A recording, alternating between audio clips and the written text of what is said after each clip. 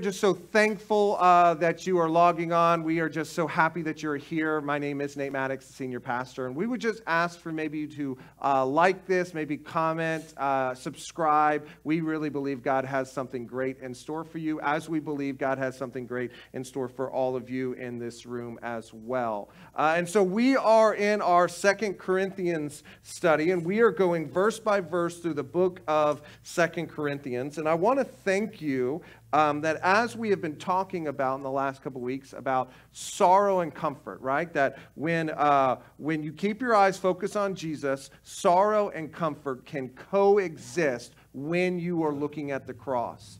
And I expressed last week in the first service, and then I became a crying mess at the second service. Of course, that's the one that got recorded. And so uh, it is on there. Um, and so um, I just want to thank you uh, last week was really difficult, um, but your love, your support, your text messages, your emails was such a blessing. Uh, I want to thank everyone who is watching, um, just how much you loved me and supported me as we talk about this concept, this idea of suffering uh, and comfort coexisting in the cross. And so we're going verse by verse through Second Corinthians, um, and he, we have moved past just his introduction. I mean, his only his introduction to the church is talking about this craziness of suffering and comfort coexisting. And we're moving into the heart of his letter. Remember, we have talked about this for the past couple weeks that good speaking, elegant, um, false teachers have come into the church, and because they're good speaking, elegant false teachers, um, the church is like, man, we really like this guy. Let's listen to their false teaching. And, and Paul had to plan a, you know, a painful visit. Um, he had to have some conversations to kind of discredit uh, these false teachers because what they were trying to do is discredit Paul. Um, they, uh, he, he sends this letter. He has this painful visit. Uh, some people repent, but the other people do not repent. And of course, the false teachers do not repent. And they start to discredit Paul's authority, basically saying that Paul has no authority. And so he lays out in the very beginning of this book that, of course, he has no authority. Jesus has all the authority, and Jesus has then given him this authority. And they start to challenge his love they start to challenge his genuineness. And so we see Paul at the beginning of this letter defend himself in the next few verses. Uh, and he does it actually in a very unique way. And I think today's message is going to be very unique for many of us because we don't think like this and we don't talk like this.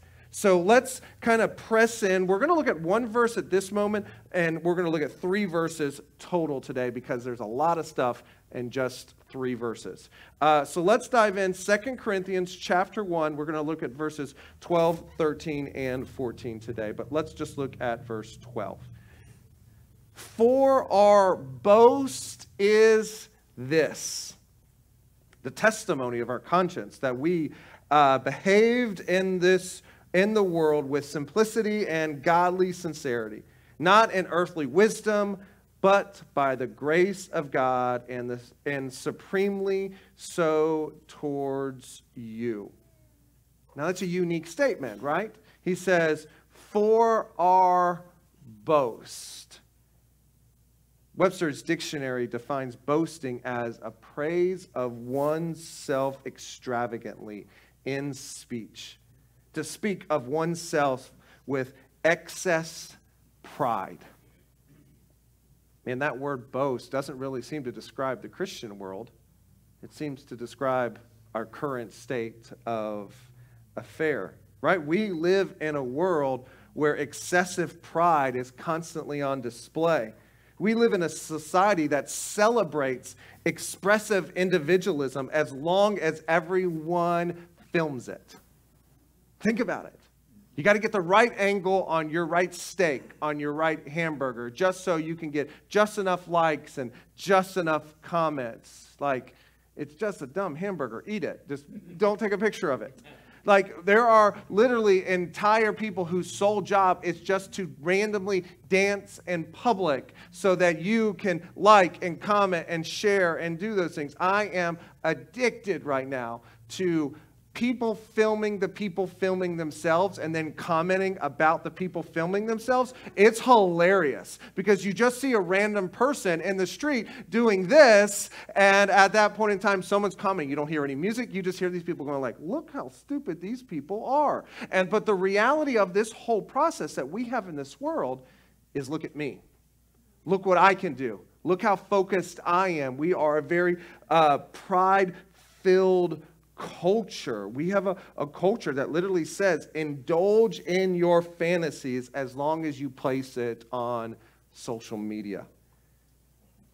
Just put the camera down, focus on who you are. We are currently living in a generation where we capture multiple angles of our society's greatness and how lost our society actually is. We are filled with a world, our world is filled, our culture is filled with a worldly pride. It's boastful. But then Paul says, for he boasts. So if we can look at boastfulness and say, well, that doesn't seem to add up to what it means to be a Christ follower, and here's Paul saying that he is, he is boasting there has to be some sort of difference. There has to be a change. And this is, this is so important for us to understand these next three verses, just to understand these few words. And it really, what Paul is getting at here is it boils down to our focus. See, ladies and gentlemen, there is a worldly boasting versus heavenly boasting. Really, the Bible encourages us to boast. And it may not be a statement you've ever heard a pastor say. But the Bible encourages you to boast, not in a worldly boasting, but in a heavenly boasting. Uh, look what Jeremiah says. Jeremiah chapter 9 says this in verses 23 and 24. This is what the Lord says. So, this is what God says to us. Let not the wise boast in their wisdom, or the strong boast in their strength, or the rich boast in their riches. This is exactly what the world is doing right now. He says, But let the ones who boast boast about this. This is what God says we are to boast about. That we, uh, that they have the understanding to know me. That I am the Lord who exercises kindness, justice, righteousness on earth. For in these I delight, declares the Lord. See, we as believers should only boast in the fact that we have a relationship with God, that we have the opportunity to step into his throne room and articulate or have conversations with the holy God, that he is a God who, who exercises kindness, he exercises justice, he exercises righteousness. And so this is vitally important as we understand this verse that Paul was laying out. What Paul is saying here is that his boasting is found in Christ, his boasting is found in God. This term for boasting, Paul actually uses it in numerous letters. He actually uses it uh, like 47 times. Half of those times that he uses this concept of boasting, he uses in this book alone. And so Paul is setting up a foundation for those in the church to see that earthly achievements or even elegant speech isn't something true believers brag about. Remember, the false teachers were coming in and going, Look how great I am. I talk so great. I say great things. You should follow me.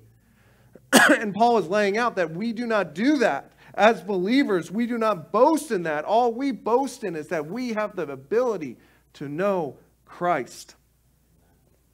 But you and I both know, as Christ followers, that this is a very fine line. Very fine line that we walk between boasting in ourselves, a worldly aspect, and boasting in that of Christ. Because you and I both have a default setting. Our default setting is pride. Scripture calls it your old self. That if you don't have your mind captive, if you are not thinking on the things of world, uh, uh, uh, things of heavenly world, and not things of this world, that you will eventually just instantly step back into your default setting of pride, default setting of an old self.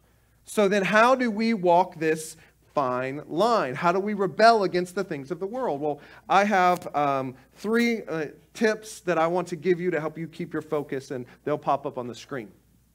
The first one is sudden shifts. How do you move from a worldly boasting to a heavenly boasting? The first one is sudden shifts. This means you have to move from success to servant.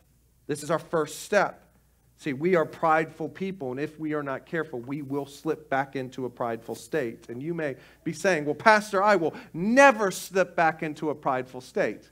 You just did. And it's self righteousness. And it's just that fast. And so, what we have to do is we need to guard our hearts and guard our minds and move from success to servant.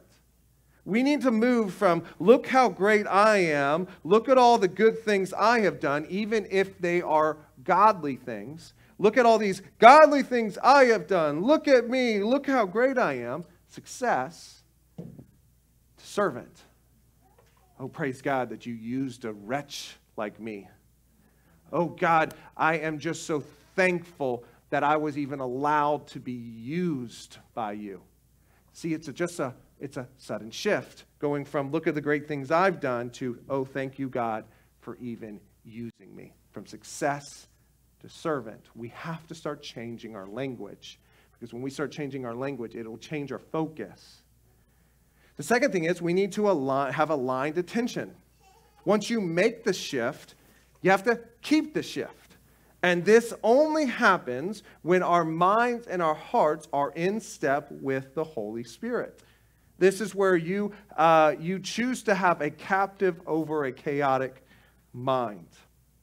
We've been talking about this for the last really couple weeks, right? We were joking yes, last week about uh, how you like your eggs, right? Free ranged eggs, chickens to caged chickens, right? We joked about that. And uh, the reality is for us as Christ followers, a chaotic mind is a free ranged mind. You want free range chickens. That's what I've been told. Chris and Natalie tell me I want free range chickens, not caged chickens. And so, and that reality is you want, but you want to have a captive mind, not a free range mind. Because a free range mind that is not submissive to that of the Holy Spirit will destroy you, will run wild on you, and you will constantly get out of alignment. And so you must keep your mind submissive to the things of Christ. And how do you do that? It's through Scripture. Scripture is vital to keeping your attention aligned. How can your mind be submissive if it doesn't know what to submit to? And then lastly, I think the three ways that you can keep your, uh, uh, keep your uh, heart uh, or your mind to a heavenly boast instead of an earthly boast is you need focused friendships. Bad company corrupts good character, 1 Corinthians 15 who you have around you can determine and most likely will determine your future. You do not need hype men. You do not need yes men. You do not, listen, this is so important and so contrary to everything the world is telling you right now. You do not need people to tell you who you can be. You need people telling you who God sees you to be. There's a drastic difference. You need people who encourage you with encouraging words, not empowering words. Empowerment, empowering words, empowering statements, that is all the rage right now. That is extremely dangerous for that of a believer. You need encouraging words, not empowering words. The reality is, empowerment, by definition, means the power a person has to change or do something in their lives. Ladies and gentlemen, that is pride you can't do anything. You can't fix anything. You can't change anything. And if anything changes in your life, it is only because of the grace of God who gave it to you. And so when you when you have friends around you who just like just be you, you can do it. You can achieve. I believe in you. That is a very dangerous friend because that friend will move you. Now listen, as I'm saying this sentence, you go, Whoa, I thought that's what we need in our lives. No, that is not what we need in our lives. We do not, we do not need people in our lives to encourage us or to empower us to be more like us. We need people in our lives to encourage us to be more like Christ, who will come alongside us and use encouraging words and push us to the gospel. See, the reality is, as you're walking this fine line, if you have focused friendships, as you start to veer off a little bit and get a little bit into se- eh, back into self, what do they do? They point you back to a sudden shift. And they go, whoa, whoa, whoa, whoa, man. I see this in your life, and I love you enough to go, hey, man, let's get back over to being a servant, not being success. See, when you start to move, when you have friends in your life that are focused, that love you enough to come alongside you and go, hey, man, your alignment's a little bit off. Uh, my car's alignment was off the other day. How did I know my car's alignment was off the other day? My dad walked over and says, Dude, your tires are balding on one little side. And I said, Oh, I didn't even realize that. Because why? It's on my passenger side. I never walk over and look at that tire. You know how you're supposed to check all of your tires, check all your blinkers, make sure all that works before you get in the car? I never do that. And the reality of the situation, I knew my alignment was out because someone came and told me, Hey, man, your alignment's out. We need focused friends like that who will love us enough and go, hey man, let's get back into focus. Let's get back onto being a servant in Christ and having those people in our lives. And so at this point in time, we realize this cycle, right? You, you have a, a focused friend that loves us, that encourages us, and brings us back to a sudden shift. We get back in alignment to God to where we're a servant to God, not our successes like the false teachers of Second Corinthians. And we get back into this alignment and we stay in alignment through the power of the Holy Spirit.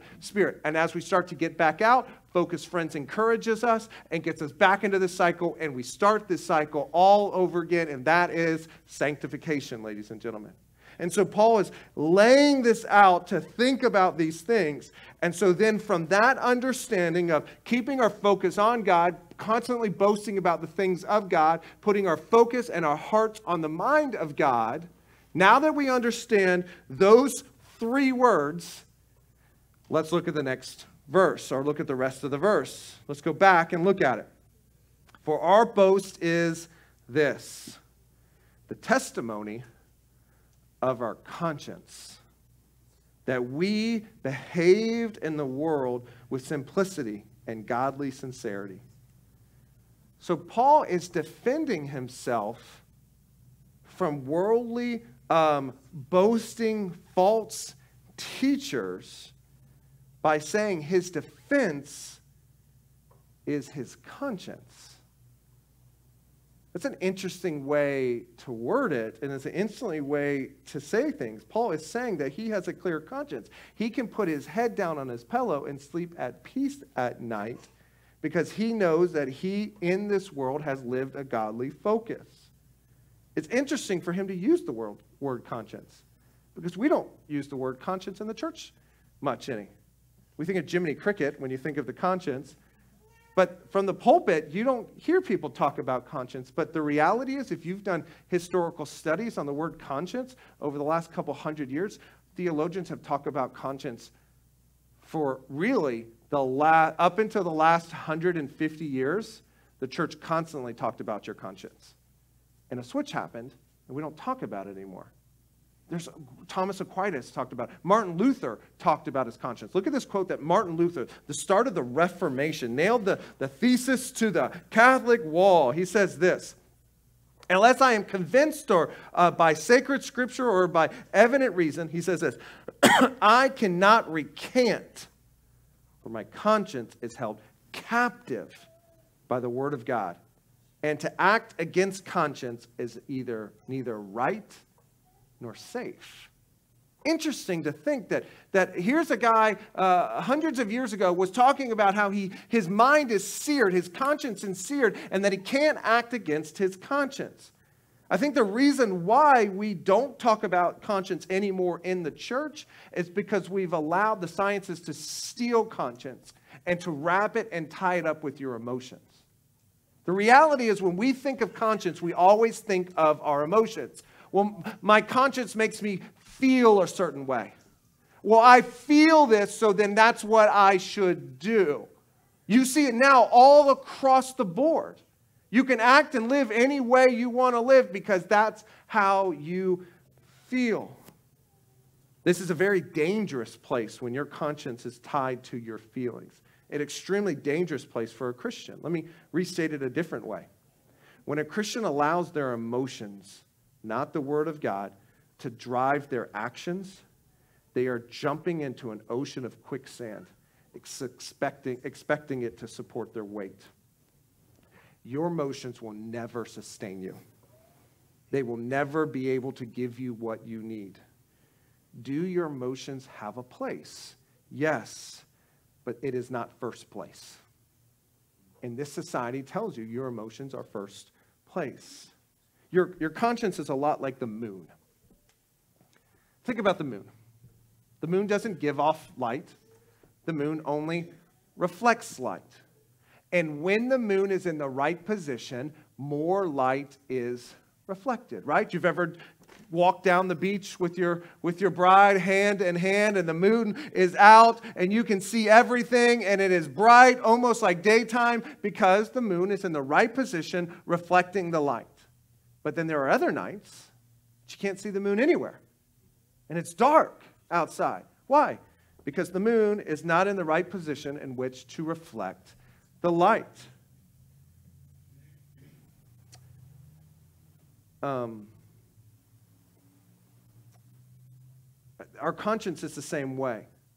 The more and more you refuse to listen to your conscience, and the more and more you listen to your emotions, the quieter, the dimmer your conscience will become.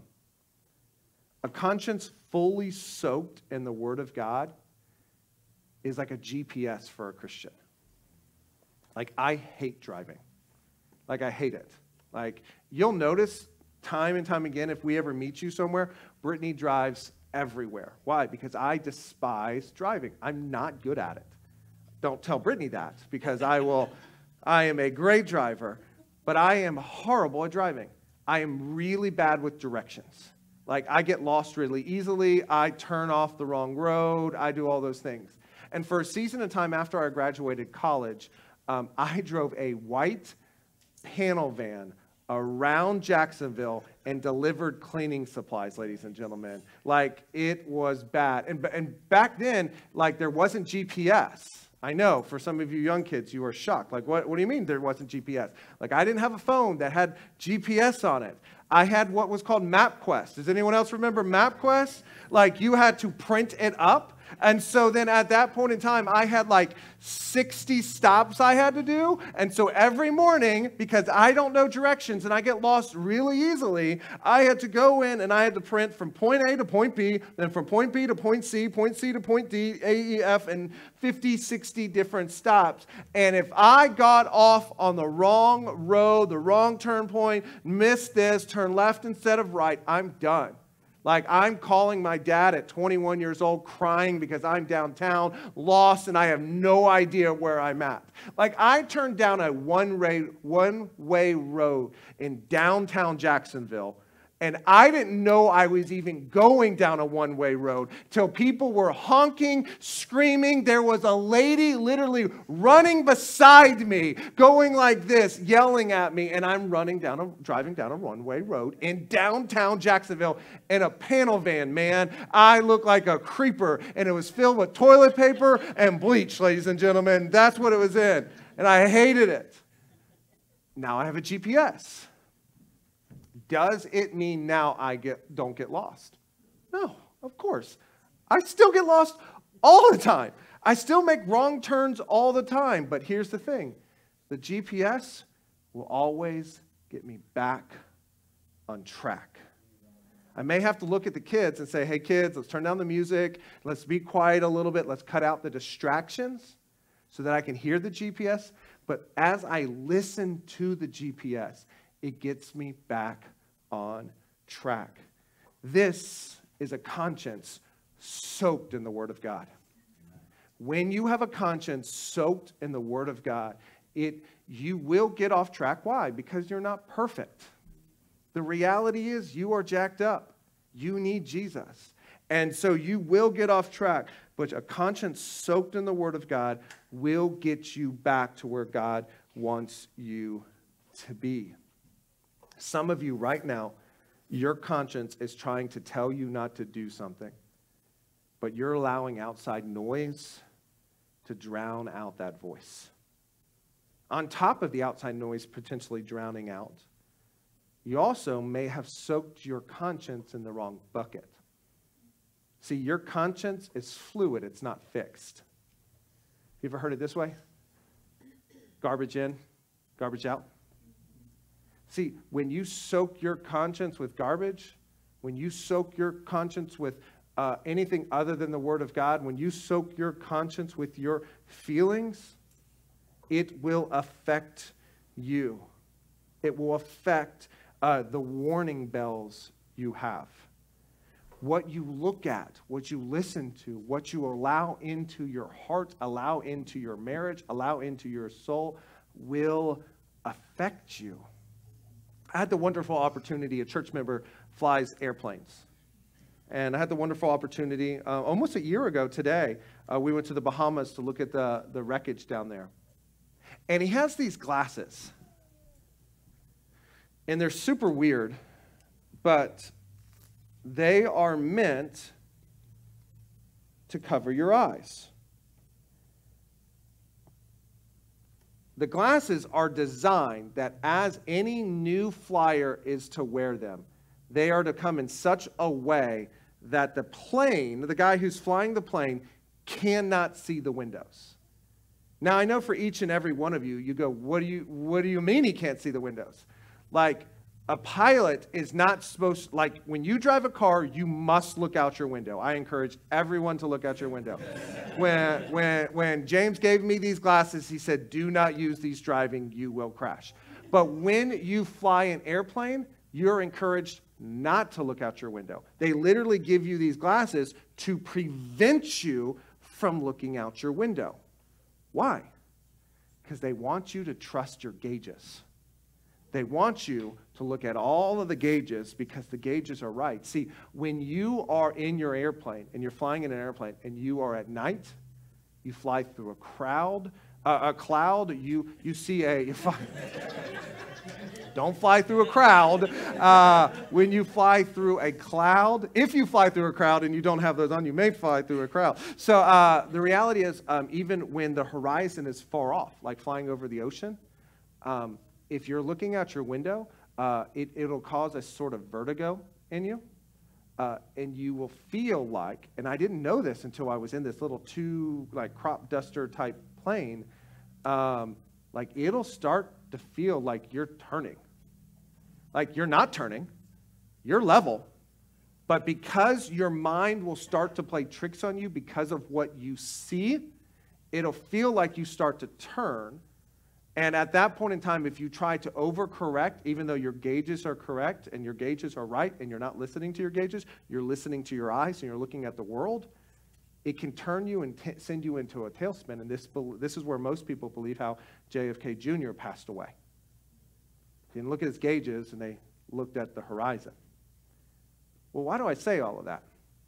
So many point in time when you start looking at the world around you, your perception will begin to lie to you. And you will start seeing things in a false way. You will start soaking your conscience in a negative way. Every pilot is trained. Every pilot wears those glasses in which to train their mind to focus on their gauges, not their horizon. That should be the same concept for a Christ follower. It should be the same concept for you and I. Joshua words it this way when God is talking to Joshua, my favorite book, first book I ever preached here as a pastor. God tells him this. Look what Joshua chapter 1, verses 5 through 9. As I was with Moses, so I will be with you. I will never leave you nor forsake you. Be strong and courageous because you will lead these people to inherit the land I swore to their ancestors to give them. Be strong and very courageous. Be careful to obey the law my servant Moses gave you. Do not turn from it to the right or to the left, that you may be successful wherever you go. Keep this book of the law always on your lips. Meditate on it day and night, so that you may be careful to do everything written in it. Then you will be prosperous and successful. Keep your eyes on the gauges. He goes on to say this Have I not commanded you? Be strong and courageous. Do not be afraid. Do not be discouraged, for the Lord your God will be with you wherever you go. How can Joshua be courageous? How can Joshua be strong? Was it because he had the best army? No. He had a bunch of, basically, a bunch of ancestors or children of slaves. They weren't, they weren't military experts. They basically just had a sword and they tried to point the pointy end in the other guy. So they didn't have the best army. Did they have the most men? No. They were taking over an entire region. They didn't have the most men. Did they have fortified castles? No. Did they have the best military strategy? No. Think about the story of Jericho and think of it in a military tactic. God says, walk around this fortified city for seven days and just yell at it. Like that was it.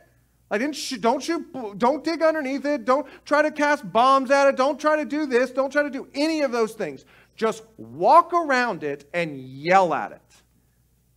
And the walls came tumbling down. He didn't have the best military strategy. He didn't have the biggest army. He didn't have the best army. He didn't have fortified castles. How could Joshua face or overcome anything? Because his eyes, they were not focused on the battle ahead. They were focused on the words and promises of God. See, his conscience was clean because it was soaked in the word of God. And so at this point in time, what Paul is laying out here is that he has a heavenly boast, keeping his eyes and focused on Jesus. And because he kept his eyes and focused on Jesus, his conscience is now soaked in that of God, soaked in the concept of God, soaked in the word of God. And he uses that to defend himself against prideful, arrogant, false teachers. And we pick up in, in this sermon with these last two verses. Look at verses 13 and 14. For we are not writing you anything other than what you read and understand. And I hope you will fully understand, just as you did uh, particularly understand us, that on the day of our Lord Jesus, you will boast of us as we boast of you. What is Paul saying here? He's basically saying, hey, listen, my message, it wasn't flashy, wasn't very good. The reality is, I should have said cloud, but I said crowd and all those different things. It wasn't perfected. It wasn't all these things. What was it? It was just simple gospel, simple gospel messages. And then he uses this concept of, of boasting again at the time of Jesus' return. He's talking about how excited he is that the church, when they stand faithful and stand strong in the Lord, have a focused friendship, that he's, he's encouraging them to, to, to, to return back, to, to make a sudden shift back, that when they do those things, the group of people can stand before Jesus at the end of times and go like, look at all these believers. Look how strong they are in the Lord. God, look how you used me. Look how you used us to grow us in the gospel. And God, thank you that you would use such a wretched person like me to grow people in you. And then the church can look back and go, you know what, Jesus, we were a little bit off and a little bit broken and we ran after things of this world, but thank you that you would use a broken person like Paul to, to bring a repentant person back to Christ so we can praise you. And at the end of all days, a bunch of jacked up people can look at a holy God and go, God, we got nothing to offer you except to say, thank you for using us. That's the church. None of us are good. None of us are great. Your own pastor can't talk. I have jacked up learning disabilities, and God gave me a job around a book. Like, what? But at the end of this all, the only thing we get to boast about is how great our God is Amen. and how he used us to bring more people to himself. And so I end this sermon, I end this, this with this concept that it's that the, the outcome of a church shouldn't be a massive wave of church attenders. The outcome of the church should be believers being convicted, converted, and challenged in the gospel.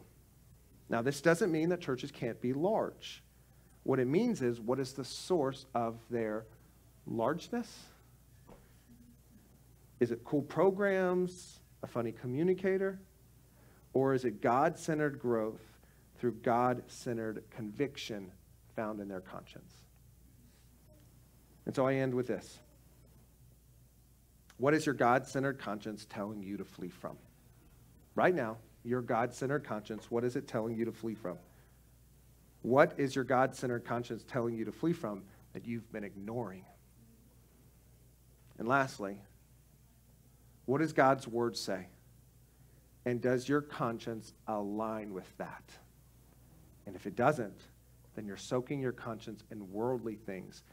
Get off of looking outside and put your focus back on your gauge, God's word, and rest in the confidence that you can trust your gauges, even when the outside world looks extremely wonky. So may we be challenged to check our hearts today and see if they align with the things of Jesus. Let me pray for you. So, generally, Father, God, thank you for this word. Thank you for this challenge. God, thank you for those in this room right now that they have a sudden shift.